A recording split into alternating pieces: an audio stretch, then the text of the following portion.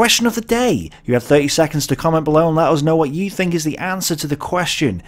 Which is the most written word in the English language? Go. You have less than 30 seconds now to comment below and let us know what you think is the most written word in the English language. This is the word not spoken, but written the most. So, I don't know, make an educated guess, I guess. Um, would it be A? A? Or would it be two. Uh, I don't know. You you let us know. Less than ten seconds left left now uh, to make an educated guess. Five seconds. Hmm. I wonder what word it could be. I would just put any word, any word at all, and stop.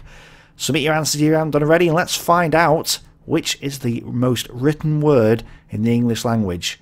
It is, in fact, the.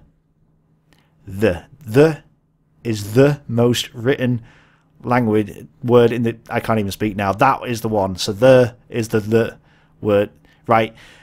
If you said that, congratulations. If you said anything else, you got it wrong. Thanks for playing Question of the Day, guys. Please like the video if you did, and uh, subscribe for more. Thanks for watching. Bye for now.